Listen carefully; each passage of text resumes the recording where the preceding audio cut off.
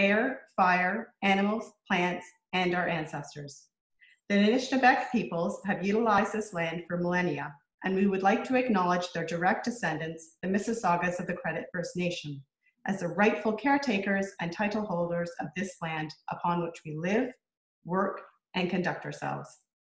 We acknowledge our treaty relationship and responsibilities to both the land and these original peoples. We also recognize that this land is rich in pre-contact history and customs, which include Anishinaabeg, and Haudenosaunee, and since European contact has and continues to become home for Indigenous and non-Indigenous peoples. And it is in the spirit and intent of the Dish with One Spoon Wampum Agreement, whereby we will collectively care for and respect the land, water, animals, and each other in the interests of peace and friendship, and for the benefit of not only ourselves, but of our future descendants. So the technology for this call, I'll go over it quite quickly. Um, you're to use the chat box to ask any questions. You can find that in the bottom of your screen. You can privately message the host. Simply choose the Halton Environmental Network or Oakville Ready, and we are here to answer any questions.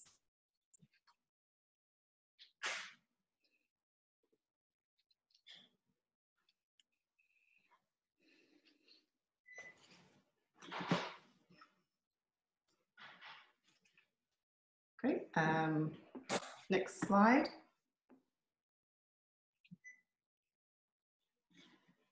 So please use the chat box to ask questions. Like I said, please take care of yourself. Share the air and chat box space. Question ideas, not people. Call people in, not out. If you need additional COVID-19 support, please visit www.halton.ca or dial 311. Now, I'm going to turn over to Tricia Henderson to tell us a little bit more about Oakville Ready. Hi, thank you. Uh, I'm just going to take a brief moment to describe the Oakville Ready program, um, which is kind of the platform in the program that has brought us here today. Um, so about a year and a half ago, the town of Oakville and the Halton Environment Network uh, set out to establish a neighborhood resiliency-based program. Uh, we were generously funded by the Oakville Community Foundation, and our goal was to establish six resiliency hubs uh, within vulnerable neighborhoods of Oakville. Uh, these hubs are to serve as a short-term refuge in times of localized flooding, high wind, power outages, ice storms, severe winter uh, events, or house fires. Um, this really is a neighbor helping neighbors program, and we're trying to build community resilience and decrease the vulnerability of um, our population um, by building this community and this social network. So, uh, as I mentioned, uh, the Oakville Ready program was put into place really to deal with that first one to four hours after an extreme weather event. Um, we are noticing an increase in the frequency um, and the severity of some of these extreme weather events um, that, as I mentioned, include high wind events, freezing rain, uh, general winter storms, flooding, um, and the impacts of these are often power outages, uh, damage to home property, and in severe cases, human life. Uh, so what would happen um, in the instance of just say a localized flooding event, uh, we would locate the nearest uh, resiliency hub, which is a faith-based organization within town, and we would open their doors. Uh, you would be able to go there to get a get some communication with the town on when this problem is going to be resolved maybe to charge your electronics get a warm cup of tea and really just socialize with your neighbors uh, we do know that uh, building community resilience uh, through this means really does help to relieve anxiety and stress of people that are going through uh, these emergency type of situations. So our goal was to enact six hubs within the first year and we ended up going with seven. We had, uh, we blanketed the whole town and approached every faith-based organization within Oakville to take part in the program. Um, and we chose these seven as our first um, cohort uh, to the pilot project. Um, they were chosen based on their abilities to participate in the program, uh, details about their facility and their location uh, throughout town. As I mentioned, this is a program of um, in partnership with Halton Environment Network and the town of Oakville, but we have um, received additional supports from Halton Region, Faith in the Common Good, and Crew. So I mentioned uh, Oakville Ready was put into place to deal with extreme weather events and our changing climate, but in light of COVID-19 and the requirements for physical distancing, we really have pivoted the program and what we're trying to do now is use the Oakville Ready program as a platform to provide a virtual community of support. Um, so we have been working with our faith-based organizations uh, and providing them some technical support to put their services online. Um, and not only their faith services, but also things like their book, book clubs and you know wine groups, things like that. Um, through our website and our Twitter account, um, we have provided a lot of helpful information on things to do to keep busy um, while we're all stuck at home and some helpful tips of where you can go to get some more information. Um, we urge you to contact halton.ca or dial 311 if you have any questions re directly related to the pandemic. So without further ado, it is my pleasure to introduce Nancy Robertson. Uh, Nancy, in spite of being a very busy and successful realtor here in Oakville, she continues to find time to give back to her community that she loves. Uh, Nancy sit on the Mayor's Committee, uh, Leaders Roundtable, and she is the president of the Chartwell Maple Grove Residents Association. Prior to moving to Ontario, Nancy lived in British Columbia, where her love of gardening was fostered at UBC. Uh, she enrolled in their Master Gardeners program and she went on further to achieve a landscape design diploma. Nancy's Gardens have won landscape awards in British Columbia, and her work has been included in garden tours both here in Ontario and out in BC. Gardening, unfortunately, has had to take a bit of a backseat to her as uh, her business in realty is booming. But as Nancy states, once a gardener, always a gardener, which is why she is here with us today to help the Halton Environment Network uh, with this gardening webinar. So we're going to begin by watching just a short video of Nancy as she prepares her garden uh, for the spring. And welcome, Nancy. Thank you.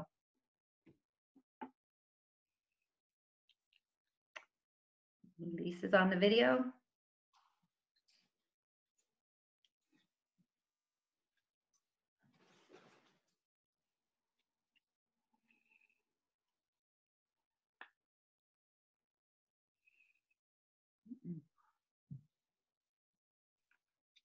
I don't sound.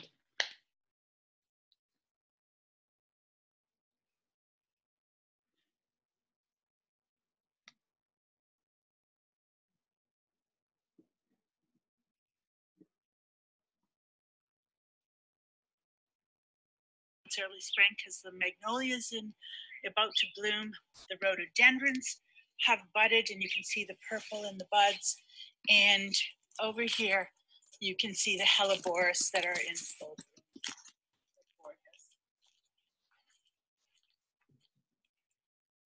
Spring cleanup would include trimming off this kind of dead dead plant material from from last last fall and you would sweep, you know, carefully rake up the leaves around your perennials. You have to be very careful. Uh, number one, you've got to worry about compacting the soil, so you want to be careful about trampling back and forth on it. And then you also have to be careful that you don't step on any of the new buds. And you can see that obviously somebody has stepped on it. One of the big spring chores, which I find incredibly meditative, is pruning. This hydrangea on my right needs pruning at this time of year, but this Japanese maple will not be pruned at all, ever, should always be left planted as it is.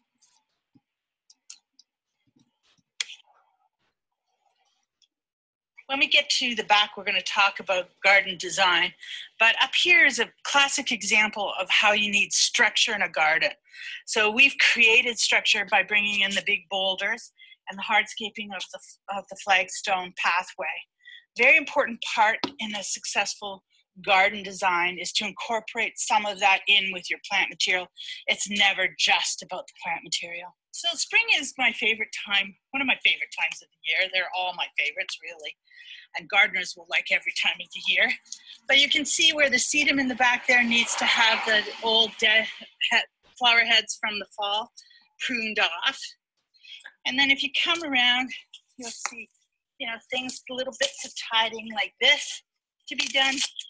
And then, but you gotta love the spring. Look at the colors and look at the texture because gardening is about texture too. So look at the textures. Over here on this side, we have a very mature lavender bush. And, um, you know, lavender is almost not can, not hardy here in our, depending on where it is planted in your garden. But this all can be pruned off. And, uh, and then you're left with a beautiful shrub that will bloom that will bloom later in the summer. So you can see we have a, a giant perennial grass here. It's one of the miscanthus.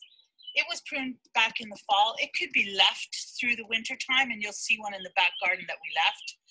Um, so this is all, the pruning is all done here. There's nothing more to do. You'll see some green shoots coming up.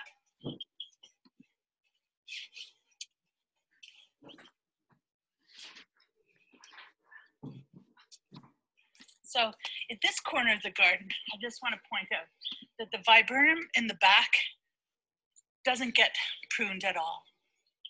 The hydrangea will get pruned. Now that hydrangea is a very mature old hydrangea bush. I love it to death. It will probably take me an hour and a half to two hours to prune that. And this is a lilac bush and it's about to, to flower. So we're not going to touch that at all until after it's bloomed. And then if you just look beyond the red chairs, you can see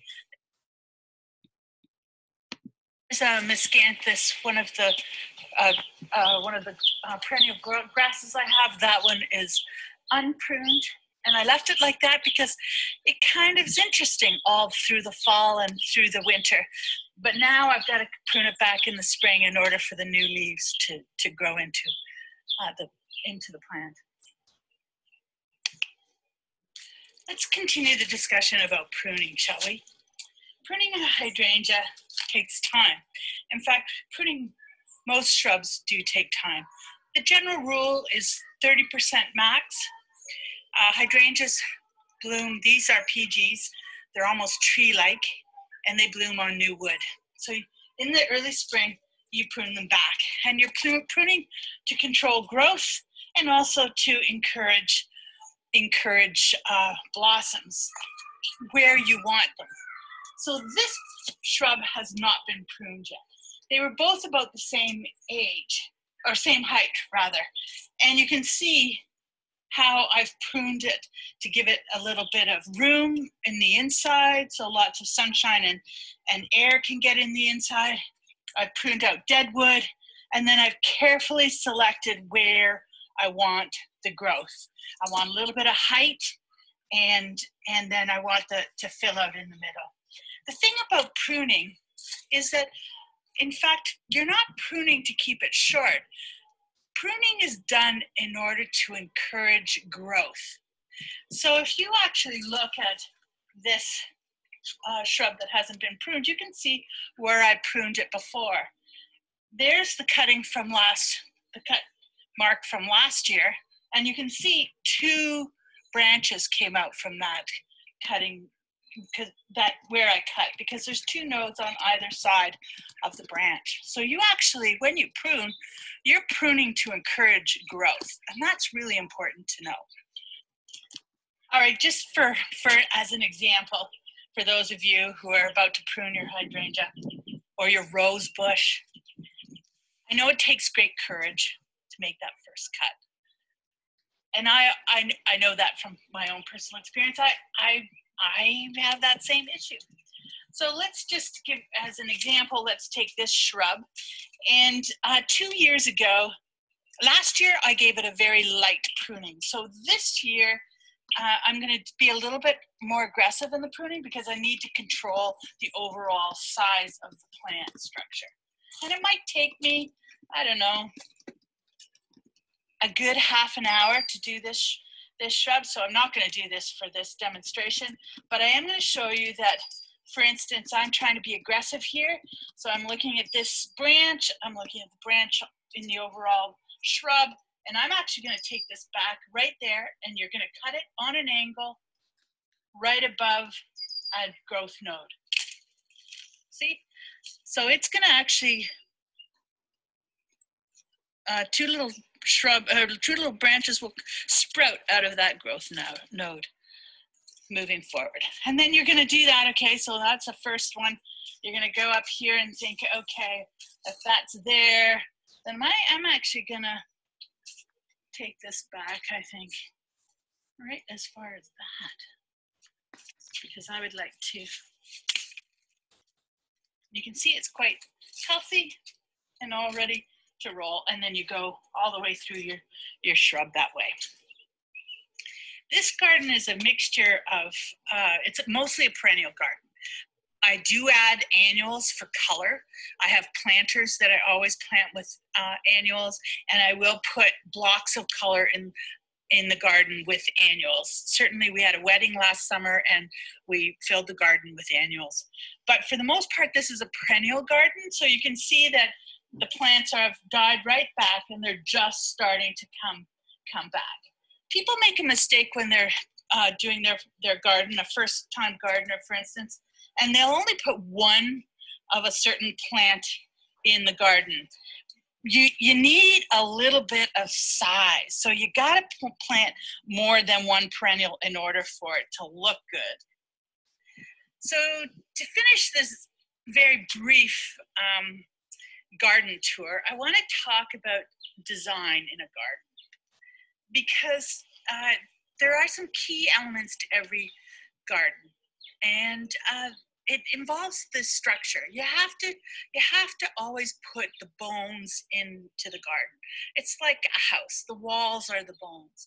Well, out here, the bones are the fencing, the trees, the evergreens, the pathways, and then in this garden, you know, we have red Muskoka chairs that definitely provide some visual point of interest. But you'll notice that We've got some evergreen shrub uh, hedges all the way along that provides a really strong background to the plant material that's planted in front of it. And then in front of it, we have a combination of shrubs and perennials.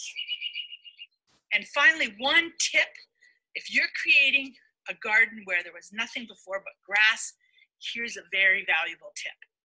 The most important part is you gotta get rid of the turf to to scrape the turf off is hard work and also it's uh, it's got to go somewhere so my suggestion is that you plot out your new garden with a hose cover it with some sheets of newspaper and like you know you're going to put a good batch of newspaper down and then cover it with compost or manure and let the garden sit for you know six months. So you're doing some planning in advance.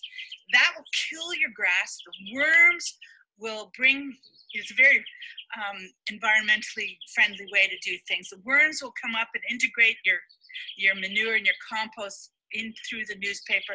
It works like a charm. I, i've done it over and over and over. Highly recommend that's all I have to say. I've I, there's so much more that I could say, but I'm going to cut it short now. Um, I'm happy to help. Reach out if you have any questions. Please have a wonderful spring. Enjoy your garden and stay safe and healthy.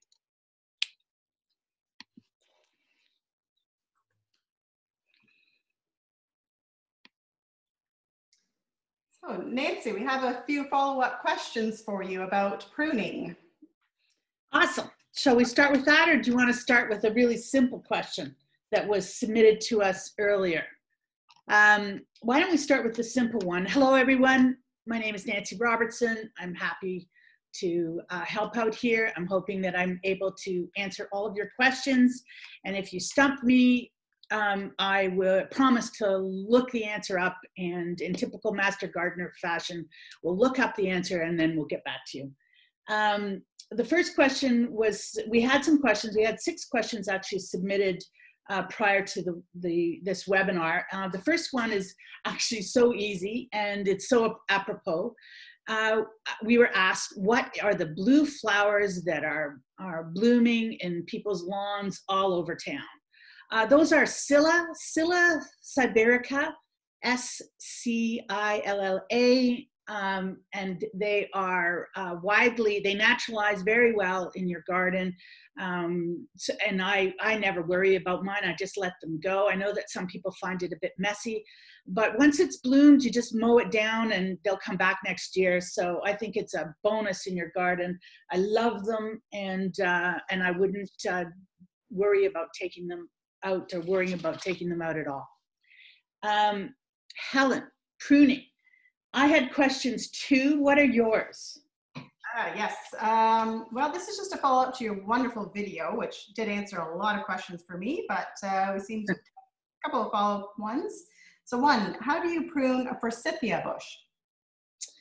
Uh, well, forsythia is one of the, those uh, perennial uh, shrubs, a deciduous shrub that actually is quite easy to look after. Uh, you've probably noticed they grow um, uh, very easily around town. Um, with forsythia, you almost can't uh, do anything wrong. Uh, you can you can be pretty aggressive with forsythia and uh, and cut it right back. It's it falls into the spy you know in the same sort of situation as a spirea bush. They get sometimes just uh, overgrown and they don't fit your space any longer. Um, the rule with, as I said in the video, the rule with most uh, most pruning is 30% of the shrub at any one time but I practice, um, I practice with my hydrangeas, my PG hydrangeas, I practice actually uh, a hard aggressive prune one year and the lighter aggressive, uh, lighter prune in year two. And that controls the growth of the hydrangea. For, for, forsythia, I would actually, if it's if it's um, you know a plant that's gotten too big for its space, which sometimes they do, spirea does that as, as well.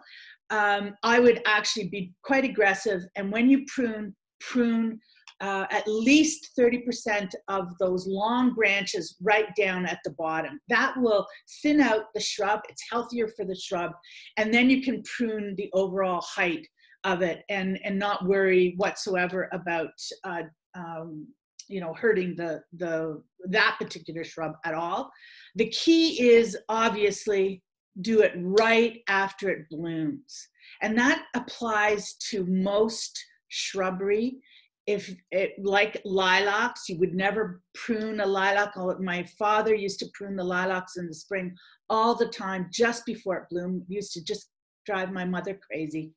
Um, but so don't prune the lilacs until they have actually blossomed. Same with forsythia and spirea, also the same. It will bloom in late spring and you're going to be able to uh, prune it right after it, it blossoms. And in fact, your spirea bush can be you know, I cut it right. I don't even follow the 30% rule. I actually cut it right back because it's in a tight little corner. If I had lots of space with the spirea, the shrub is, is a vase-like formation. And so if you can let it grow to its natural shape, it can be quite beautiful. But most people have planted your, the spirea in a too tight a, uh, location, so they end up having to really give it an aggressive overall prune. I don't know if that helps at all. We did also get a, a pruning question online about a fruit tree. And this uh, particular Nikki, this is Nikki, who was asking about uh, her, her pear and her apple tree that are espaliered. Well, let me tell you, that is a very complicated question, Nikki. Uh, with fruit trees, generally speaking, you are choosing between old and young wood, and then you're also distinguishing which is a fruit spur. Because you don't want to cut off the fruit spurs.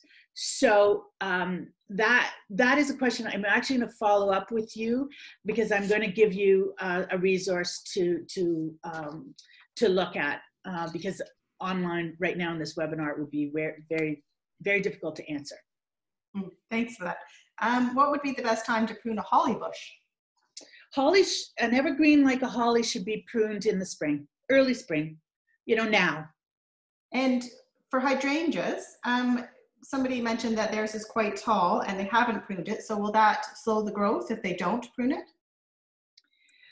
uh, it won't slow the growth, but what happens is that, I mean, basically, when you garden, you want the blooms and the garden to be basically in your face. So if it gets so tall and the blooms are way up high, you don't appreciate them right down where at, at eye level. So that's my only thing about pruning. And that's one of the reasons why I keep my, my hydrangea at that at that eye level is because I, I want to be able to see see the blossoms when I'm out walking. I don't want to have to look up. I want to see them right at my eye level. So if somebody has a hydrangea at the correct height or a height that pleases them, they don't need to prune it? No, they don't, but they will get leggy growth. Um, you know, pruning is good for a shrub. Uh, mostly because it gets dense in, you know, the, the growth is all on the outside of the bush. And that means that no sun is going on to, in, in the middle and you're not getting any growth from the center. Eventually you're gonna get a, a shrub that is, is gonna be what we call a leggy, you know, leggy. It's gonna, it's gonna, you know, just have long branching with blossoms only at the end. And that might not be what you want.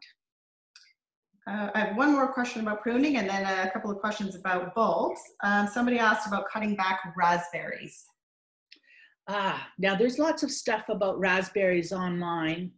Um, and I also have a, a book on pruning that talks about raspberries. Again, the raspberries, um, the resource on ra raspberries, there's a, there's a little bit of two times of uh, raspberry pruning, in fact. You have to do a little bit in the fall after it's fruited, and then you do a little bit in the spring. So who, uh, if you can get the name of that person, I'm gonna direct them for the appropriate pruning instructions. Yes, I will get back to them. That's great. Um, so quite a few questions about planting summer bulbs. So are there any you plant now to have summer flowers and any advice on planting them? Um, yeah, so mostly about summer bulbs. What would they be? When do you plant them? And any advice for the actual planting? Well, you know, the most popular summer bulb is dahlia. Um, and other, you know, uh, that would be one of, I think, and then the fall anemones um, would also be something. Most bulbs are actually planted, are spring, what people call spring bulbs, and are planted in the fall. Uh, right now, there is a small selection. We, we can't get into the garden centers, so uh, you're going to have to order these things online, and I'm not sure what it, what's been brought into the garden centers. Uh, so I hesitate to kind of tell you what to, to do, but I know that um, if you Google uh, summer bulbs, you'll get a huge list of what is possible and then you just have to figure out what online is available through through the garden centers because you're not going to be able to go and choose. Um, other things that get uh, so so in terms of of bulb planting the dominant time for bulb planting is in the fall Right. Um, thank you. Um, is there a good time to spread grass seed? I'm seeing, well, this I've seen, and I know this is a question here. Uh, not it too cold right now? Because I've seen a lot of my neighbors do it, and yet we're still having frosty nights. Yes, it is too cold. Um, it is too cold, but of course, you know, people have time right now, so I certainly understand and sympathize uh, with with the enthusiasm in the garden. We've certainly seen you know people spreading lots of topsoil down and top dressing their lawns, but it is too cold. Uh, you know, in order for uh, any seed to germinate outdoors. I mean, right now vegetable gardeners are are are doing everything um, inside still. Uh, you don't move it out. You know, in Canada and in Ontario, May 20, 24th is the weekend that everybody moves their annuals outside. Um, grass seed can actually go down, you know, earlier than May 24th, generally speaking, but it's the evenings that have to be warm, en- warm enough for the seed to germinate. It's all about germination of the grass seed. So if they if if if it's too cold, too wet, and too rainy, you risk that the seed will go moldy and just die, and it was a waste of time and effort. Um, or it just sits dormant until it does warm up, but you might not then have the same sort of level of success rate. So my suggestion certainly would be uh, to just keep an eye on the nighttime temperatures. Really, we have to be nighttime, you know, six degrees, uh, seven degrees, eight degrees, 10 degrees, uh, really for a really successful planting of grass seed. Um, now somebody asked about the benefits of a no-dig method for the, both a vegetable and a flower garden. So it's more not to actually start a garden, the method of it, but how is that beneficial for the soil? Why are they telling people to do, to not dig anymore?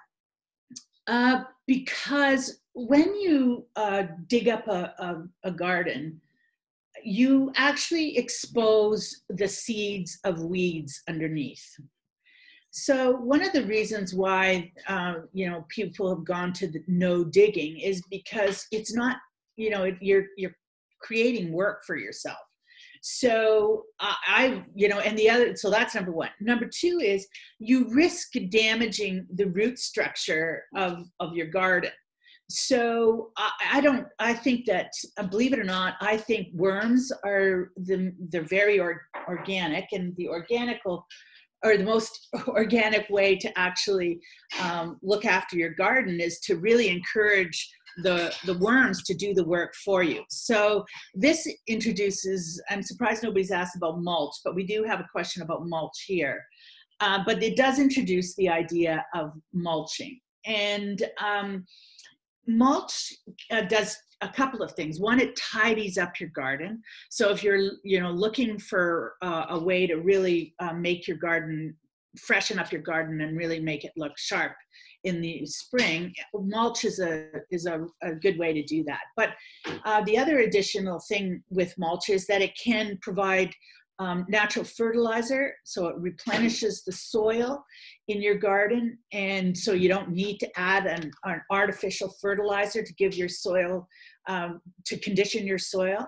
And then uh, third thing would be that when you lay mulch down at the right time, so if you've already weeded, you put your mulch down, and if you're using a compost or a or um, you know a well rotted manure that will provide you with the fertilizer. But the next the next part about the mulch if you're using a cedar shred which people do use cedar um, you know the blackened cedar cedar on top it makes the garden they like the look of it that will prevent weeds. So you know mulch is one of the one of the best things that you could do for your garden on so many levels and and of course once you've got mulch down mulch down you're not going to be digging in your garden you don't need to the worms are going to bring you know the manure down in into the soil and um, and you'll have you'll have done what you wanted to do and all organically Um, were you able to answer that question about mulch? Do you want to segue into that and we'll go back to the chat box?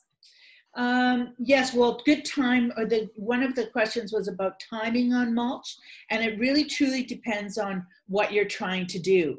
So I don't fertilize my beds every year, so I do not bring compost. And when I order it, I order a half and half mix of compost and manure and I do that because both of them are, um, you know, provide some nutrients to the garden, and so the half and half mix goes down every two years in my gardens, and I that's the only fertilizer, that's the only um, nutrients that I provide in my own garden. That's all I've done for years, um, can't, and, and it's been perfectly fine. So I, I, a uh, mulch like that that is being used as a fertilizer that kind of mulching can be done either in the fall or in the spring. It doesn't matter. You can do either or.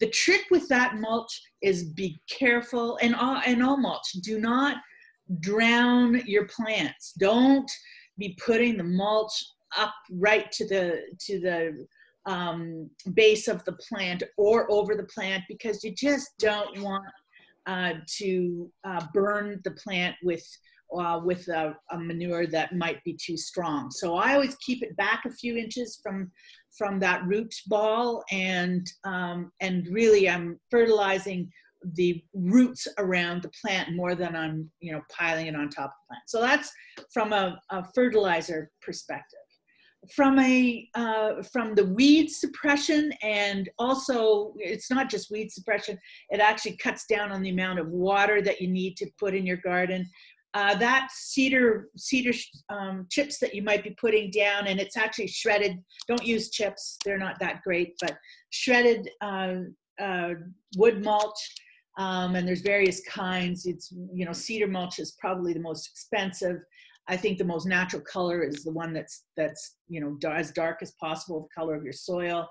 Um, that can go down, you know, in the spring, and it will once you've weeded, it will then hold. It will keep the weeds out of your garden, and that is a huge help for people. Perfect.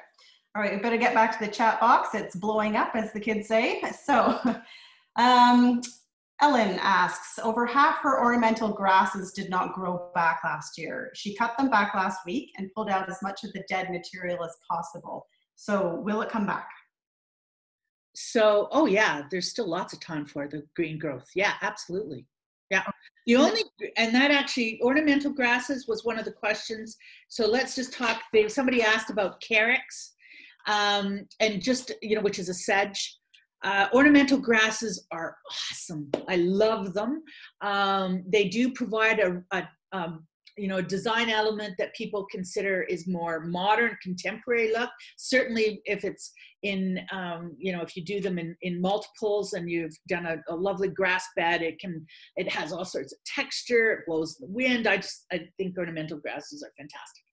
For the most part, they're in full sun. You know, they're out in full sun. Uh, the only exception to that really is carex or sedge, which can tolerate a bit of shade. And I have I have uh, sedge in my garden right in dead sun, and it's fine. I water it from time to time. It actually is. You don't really need to care for them much. I don't prune mine back generally in the fall. My uh, lawn guy pruned uh, those back that you saw in the film in the front. I wouldn't normally have pruned them back. I would let them just die right back. And right about now, I would go out and cut off all that dead foliage. On carex, on sedge, you don't prune them at all. You just pull out the dead um, dead plant material. You know, that you you can easily just run your fingers over the plant and pull out some of the dead foliage without any trouble. But the big ornamentals, you know, the, the big thing with ornamentals is they do need to be divided every sort of five years. They get really big. Um, and it's a big job to to divide a perennial uh, ornamental grass. Um, however, they are so beautiful and and uh, and they provide more than one season of growth. I mean, in the springtime really is their least attractive time, but then once the green greenery starts, it shoots up and and you've got you know summer, fall, and winter where you have some interest in the garden because of that ornamental grass. So it's not too late prune it right now.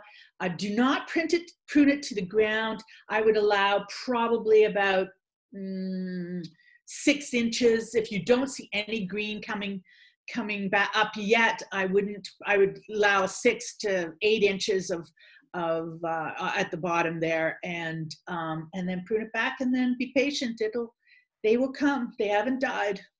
Be very unusual to die.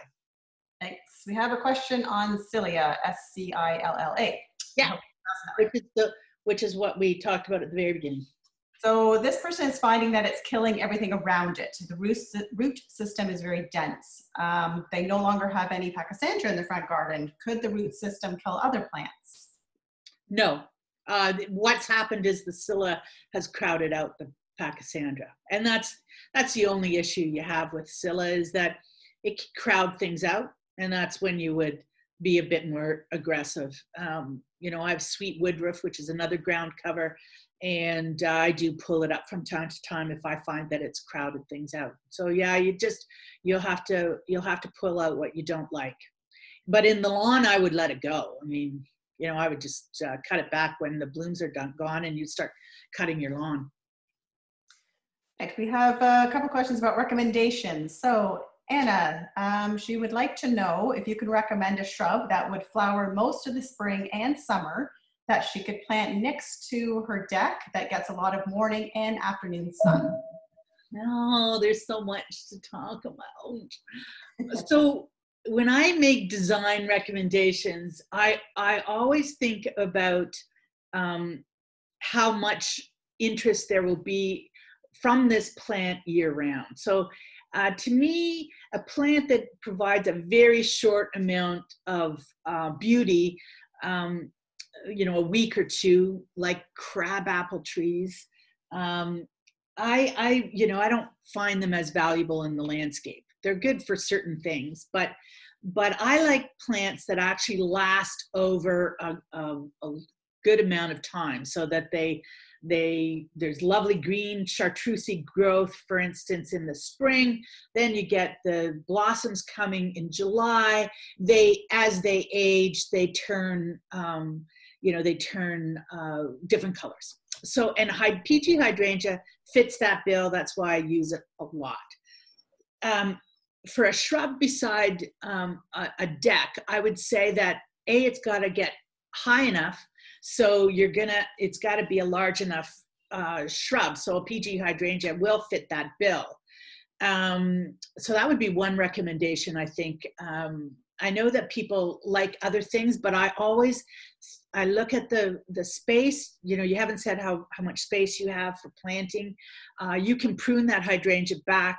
A viburnum, for instance, won't work because of the spread of the branching and um, which segues to a, a point, um, a very important point when you're actually, when we do get back to the garden center, or if you're looking online to order things, look at a couple of things on the plant tag.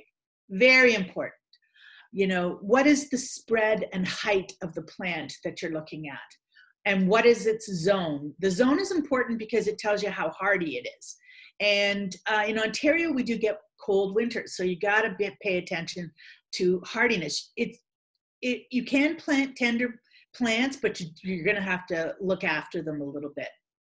Um, I don't think roses fit into roses are, um, you know, I would call them a, uh, a, a plant that requires a little bit of care. So beside a deck, I would say you're probably wanting something that's going to be um, easy enough to look after. And I certainly think hydrangea would be a good fallback. Gosh, I'm talking about hydrangea a lot, but and I'm sorry, but um, they're beautiful. Okay, okay, so on a different uh, line, are drip lines better for grow bag vegetable gardens rather than regular watering? Yes.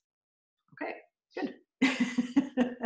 uh, yes, I agree with you too. It's less uh, water that's going to evaporate or spread to places you don't want it to go. Well, and so that's the pro- one of the questions I got was about rust on a um, on a service berry, uh, the thing about rust um, and and um, mildew, uh, they they are often caused by overhead sprinkling, and um, and so you really want you're better off not to sprinkle your gardens. You know, not to you know uh, water them overhead. Now, um, and that certainly means that if you're going to do it if you're going to water that way then you better do it you know in the morning so it has all day for the leaves to dry off. Because it's watering in the evening and then going the you know the night sets in and the leaves don't get dry. And and basically you can prevent a lot of disease by just being careful about when you when you water.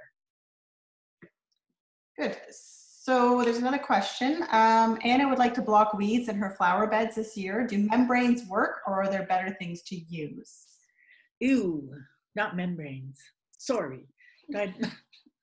um, yes, I would go, I would absolutely use mulch. Um, absolutely, absolutely use mulch. And um,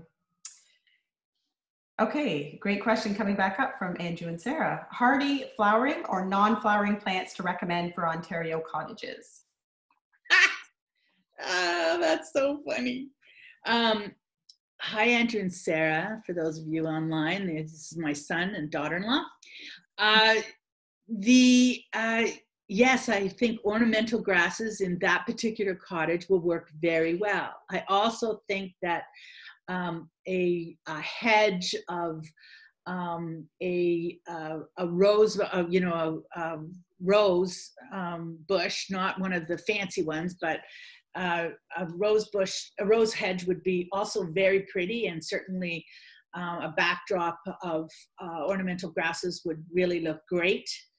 Um, I certainly would not do any um, any evergreen hedging. Like I don't wouldn't worry about boxwood. It's that's way too formal for a cottage.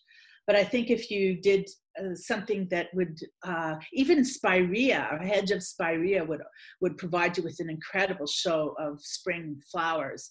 You know, white hedging of spirea. So um, those are a couple of suggestions, and I'm happy to talk to you later about that. Um, before we, we, we go on, let, can we take one of the other questions that came in? Um, this was from Susan about transplanting uh, perennials. And she wanted to know about moving bleeding hearts and poppy plants that she's got in her garden.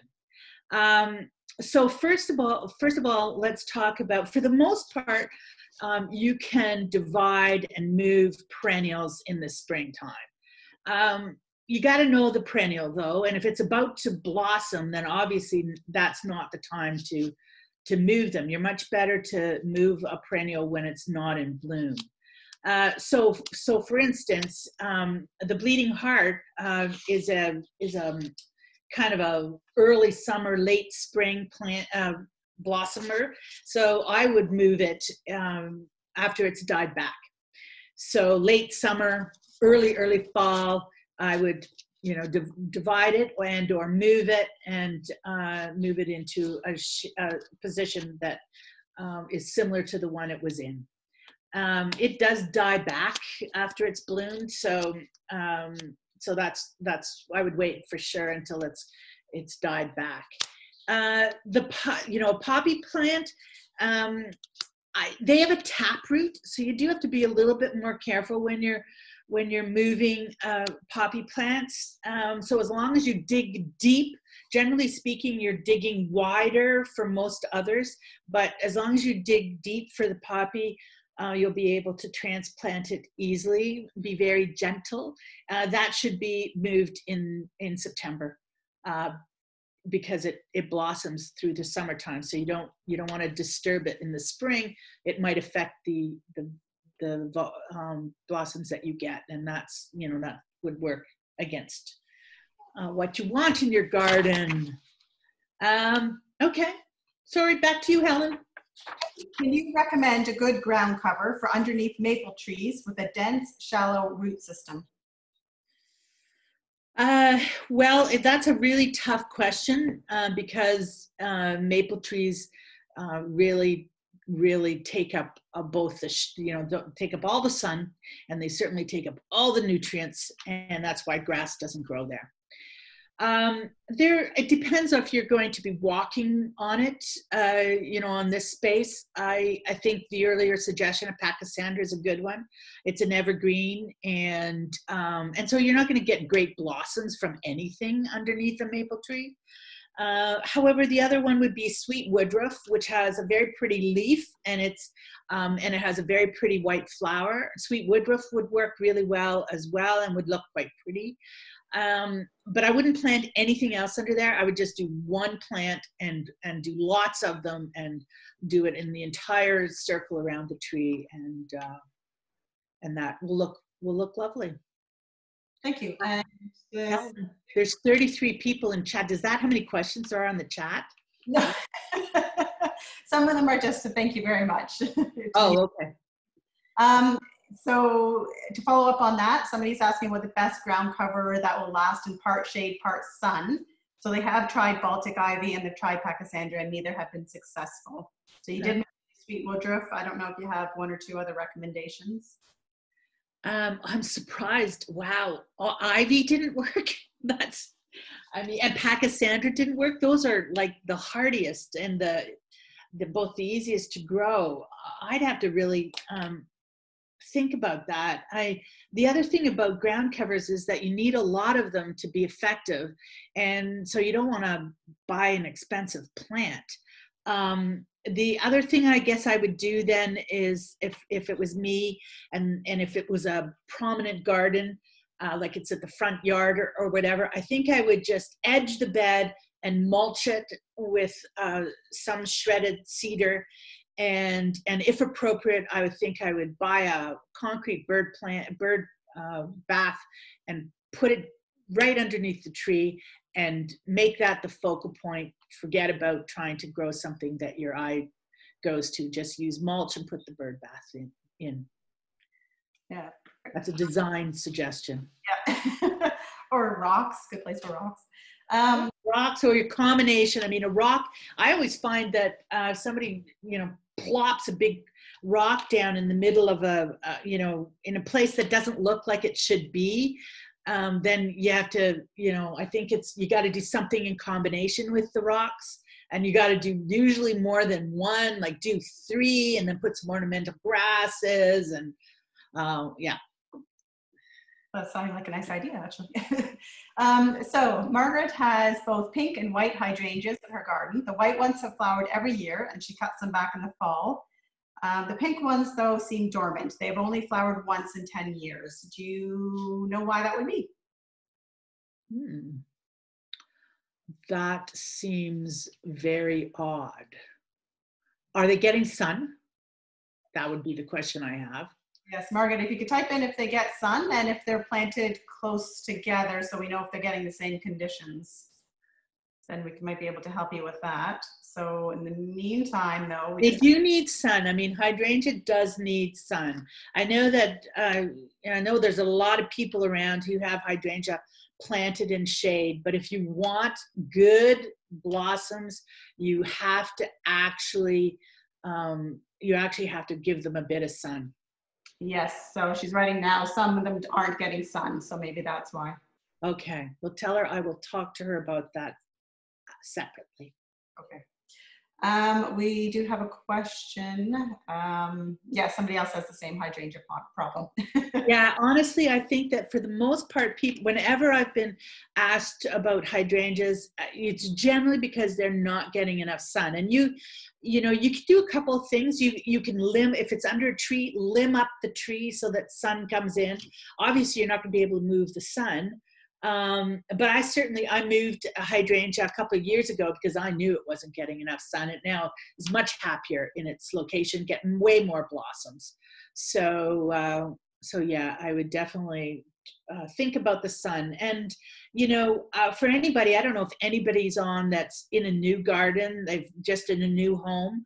I think that's one of the most important aspects of, of, of your garden. When you're in a new place, you, you should really wait a whole year to figure out what it is that you want to do in your garden. Um, just because you don't know how the sun travels across the garden. And you got to be familiar with that. And funnily enough, people gravitate towards the sun. So you'll see, you know, people's lawn chairs are moving into the gar- part of the garden where, where it's sunny and where they're most comfortable. Well, that's where you need to concentrate your efforts. If that's where naturally you're gravitating to, that's where your picnic table is, uh, whatever, then that's where you should have your patio. That's where um, you build out from that. And this is, you know, basic garden design and trying to decide w- where you're going to put things in your, you know, brand new virgin garden. Right. Um, we have a few more quick questions. Hopefully, we can get to.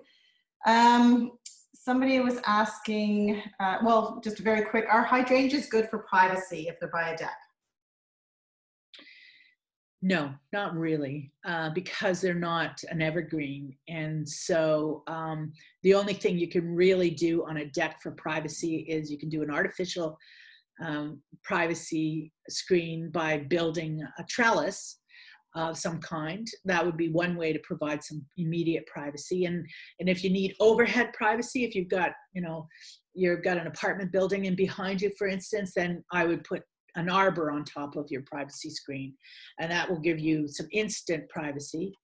Um, and then of course the other the other and then you can plant a hedge and a cedar hedge works or a yew hedge would work the thing with planting like that is that um, you know it takes time it takes it'll take years for a hedge to grow up and give you enough privacy which is you know why so many people end up building a, a screen in behind to give them the privacy they just don't have the time for the hedge to grow and and become the the screen that you need and that you want Okay, um, just three more questions here. Uh, somebody has um, is asking for advice on how to dig up a big root bar ball in the garden.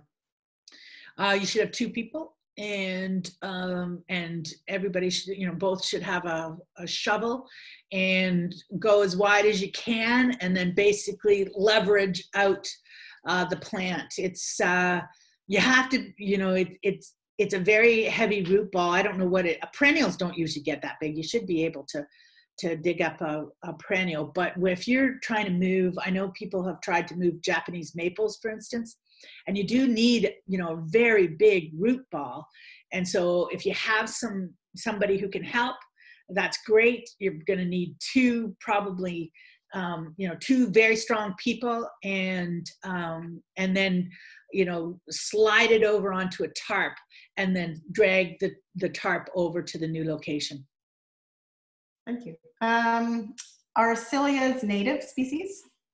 yes. Good even know. though they're called siberica they're not from siberia Um, Anna's going back to the membrane. So she was going to consider putting them under decorative stones or pebbles to block weeds. So is that an expensive option or still just not with the membrane whatsoever? the problem so the problem with uh, the the rock as a mulch because basically that's what you're trying to do um, soil your leaves the wind will blow leaves in between the rocks. Uh, that will compost and create dirt. And so you end up with weeds in between the stones. And for any of you that have had uh, that kind of cleanup to do it is a pain in the rear. So uh, i just think that you're you're better off um, to do your weeding. You know you can't get get the the garden cleaned up tidied up weeded and then i would put down mulch and i would mulch then every year and you could probably you know you can be weed free uh, effectively. I think the stone does create it has a it looks really great that first year but then you will get weeds coming up from between the stones and that um, most people find that extremely frustrating. And um, since we are uh, you know being sponsored by the halton environmental network spraying an insect uh, herbicide to get rid of the um, the weeds is not what you want to do. It's not good for the garden it's not good for our health um, all of that leaches down through the soil uh, when it rains and when you water and um, it's just not good. Um, and listen i do there's one more question here that i had in advance which is about the um, an amelanchier that had rust. And um, that's the service berry. I love this plant. I think it's a great woodland uh, shrub large shrub that has the most incredible white blossoms in early spring.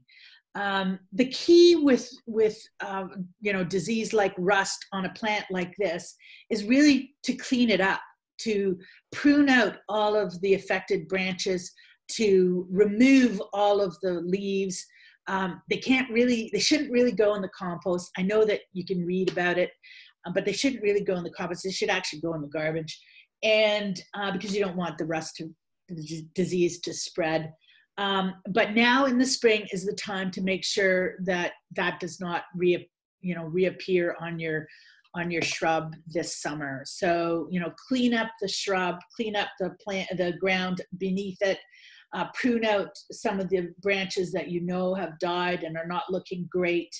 Um, and then there, here's a classic example. Don't sprinkle. Don't run the sprinkler over top of the leaves. Water it from down below.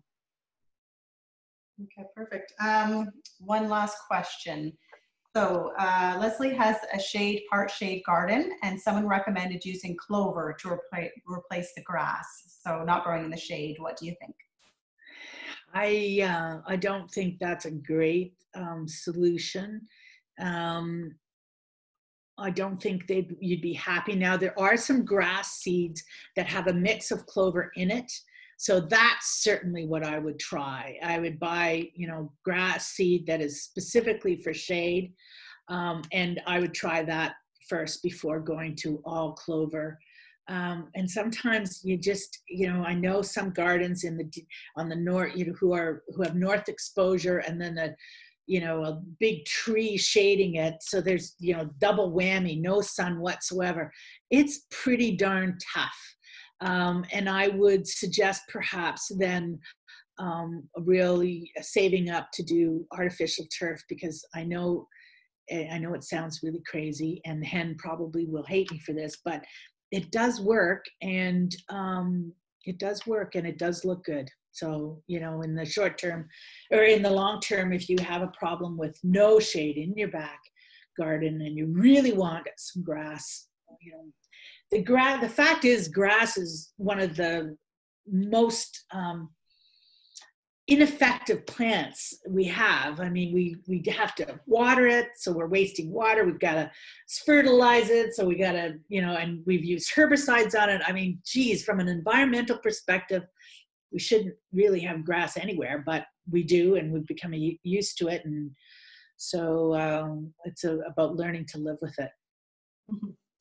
Well, Nancy, thank you very much. You have been a wealth of information. I'm sure everybody got something out of this webinar. It has been a tremendous help to all of us gardeners out here. Well, regardless of whether we're stuck at home with COVID or not, this has just been a fountain of information. I'm very, very pleased to be here. Thank you, thank you very much. Um, if anybody has any questions and you know how to get a hold of me, don't don't be afraid to reach out. Um, I'd love to throw this back to my friend Lisa, Lisa Kohler, who from HEN, who invited me to do this, who twisted my arm uh, to get me to do this. I don't. It was it was my pleasure, and thank you very much. Thank you, Nancy, so much. Oh my gosh, I learned a ton Thank you, Nancy. We're having some requests to have you again, so I'm sure you and I will be chatting later about that. Uh, again, everyone, my name is Lisa. I'm from the Halton Environmental Network, and thank you very much for joining us today on the most amazing call with Nancy Robertson. It was awesome. Uh, just so everyone knows, uh, we do have a website, oakvilleready.ca. Uh, we will be posting this webinar uh, to that website in about 24 hours, so you can rewatch it, take notes, uh, etc. There's some other webinars too that might be of interest to you, so please check out our website. If you go to oakvilleready.ca under general resources webinars, you will see all of the previous webinars that we have recorded. In addition, tomorrow we're super excited about the Heart of Oakville Beats On. Uh, this is a call that we're doing uh, with the town of Oakville. Uh, they're going to be talking to community groups and others that are actually making a difference every day through the COVID pandemic and building in resiliency and talking about how Oakville gives back eh, and such a great community to live in and to work in. And I'm really excited about these positive stories that we'll be discussing tomorrow. So if you can join us, that's tomorrow again at 1 p.m. If you have an idea for a community call, please remember, reach out uh, to us. You can get a hold of Trisha Henderson at trisha.henderson at oakville.ca or myself, Lisa Kay at haltonenvironmental.ca. Thank you everyone again for joining us. It was a great webinar. We look forward to seeing you soon. Stay safe, be well, and thank you again.